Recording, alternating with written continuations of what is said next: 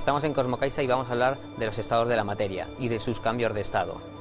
¿Qué mejor lugar que la sala permanente del museo y que la bola de plasma para hablar de los estados de la materia? De hecho, aquí tenemos un claro ejemplo del cuarto estado de la materia, del plasma. Esta bola genera una diferencia de potencial de más de 300.000 voltios, lo que hace que el gas que está en su interior se convierta en estado de plasma. El plasma también lo podemos ver en las estrellas. Nuestro Sol está en este estado. De aquí, de la bola de plasma, vamos a pasar a ver una serie de experiencias que nos van a demostrar cómo los cambios de estado los podemos ver y experimentar con elementos muy sencillos.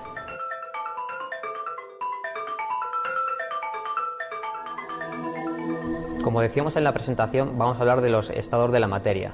Hemos empezado viendo el estado de plasma, que es este estado menos conocido, y aquí tenemos los otros tres estados que son más usuales y que podemos observar en nuestra vida cotidiana. Tenemos el líquido, que tenemos dentro de esta probeta, tenemos el estado sólido, que es hielo, la fase sólida del agua, y luego hemos llenado un globo con, con aire, que es el estado gaseoso.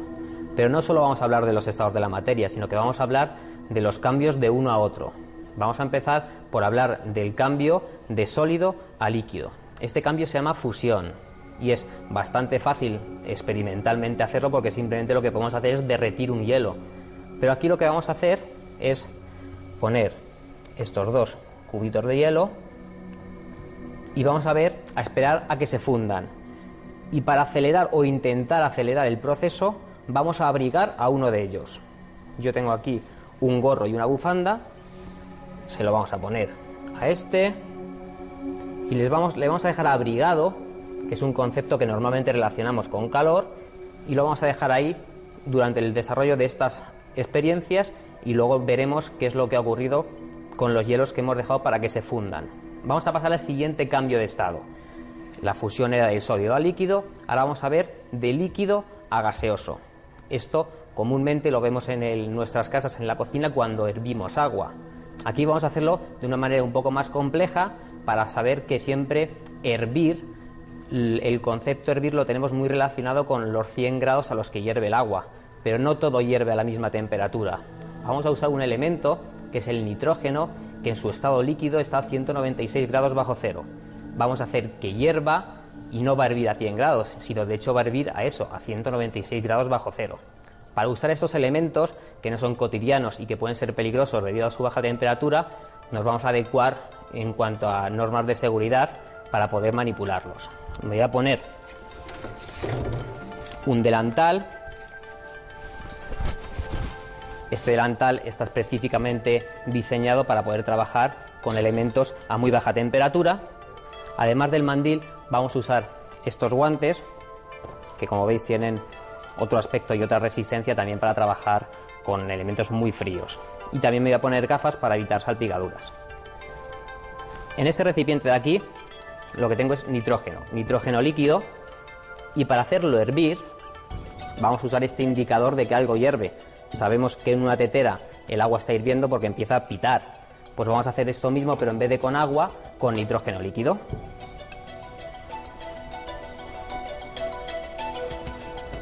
Voy a echar poco a poco el nitrógeno. Podemos observar el vapor de agua, al estar muy frío el nitrógeno, se condensa muy rápidamente y echa vapor de agua y fijaros cómo está líquido. Realmente parece agua. Bien, yo creo que es suficiente.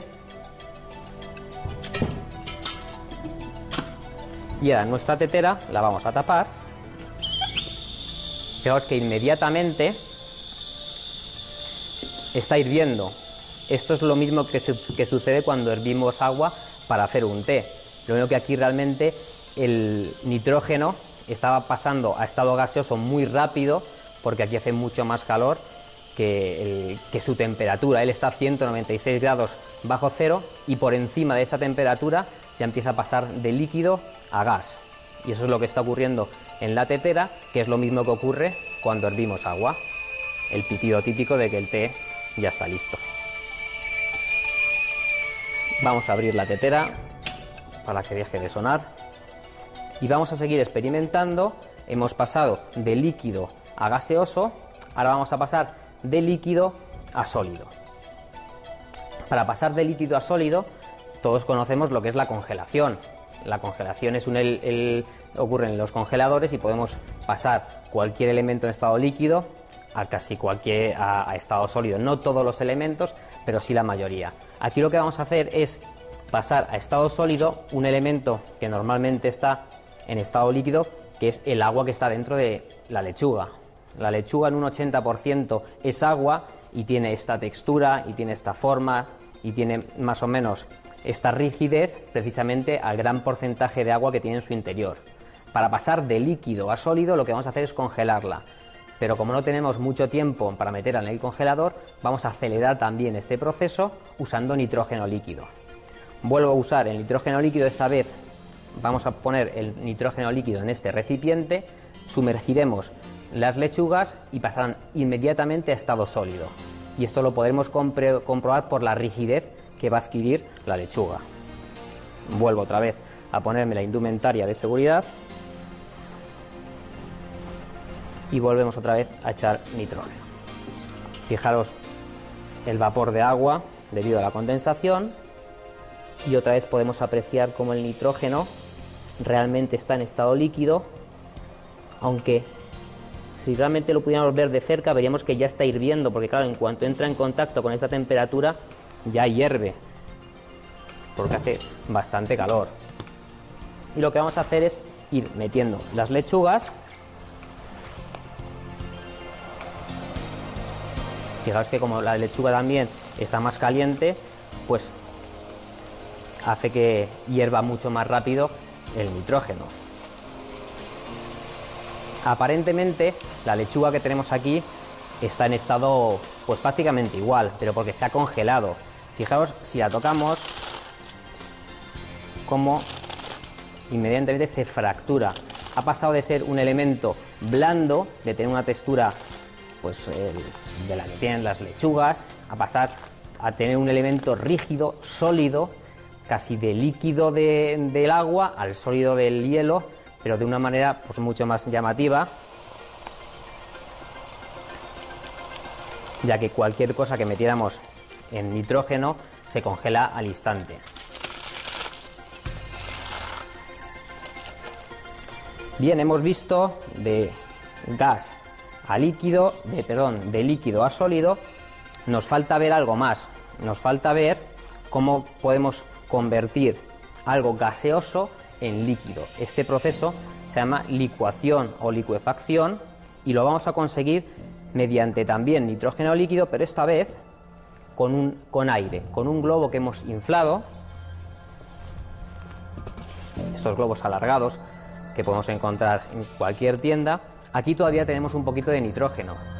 Este globo lo hemos inflado con aire de nuestros pulmones, más o menos un 80% es nitrógeno. Como aquí lo que teníamos nitrógeno, para pasar el gas que tenemos dentro del globo a, estado líquido, tendremos que acercarnos a esa temperatura, a la temperatura de licuación del nitrógeno, que son los 196 grados bajo cero. Lo vamos a hacer sumergiendo el globo y podemos ver cómo poco a poco globo se va haciendo más pequeño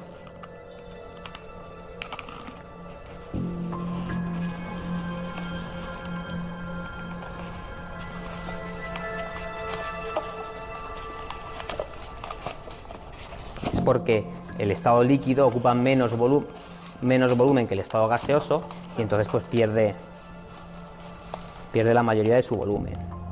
Y ahora sí que hay que fijarse muy rápido porque dentro, si nos fijamos en la punta del globo, hay líquido, porque hemos licuado el gas. Es difícil de observar, pero sí de ver visualmente, ya que el globo pasa de estar pequeño a estar grande, porque el líquido, al pasar a estado gaseoso, pues eh, aumenta su volumen en más de 10 veces. Una vez que tenemos el globo otra vez como al principio es porque todo el líquido se ha vuelto a convertir en gas. Una vez que hemos visto el estado de cambio de estado de licuación, que es pasar de gas a líquido, lo hemos visto con el nitrógeno, ahora vamos a pasar a hacer un experimento para ver otros cambios de estado no tan comunes, que son la sublimación y la sublimación inversa. La sublimación es un estado en el que vamos a pasar directamente de sólido a gaseoso. Para ello vamos a utilizar CO2 en estado sólido, lo que se viene llamando hielo seco. El hielo seco tiene apariencia de hielo, pero la peculiaridad de que no se va no va a pasar a estado líquido, sino directamente va a sublimar en estado gaseoso. ¿Cómo podemos ver esto desde un punto de vista experimental? Pues vamos a utilizar este matraz y este globo. ¿Cómo lo vamos a hacer? Pues vamos a echar el CO2 en estado sólido dentro del matraz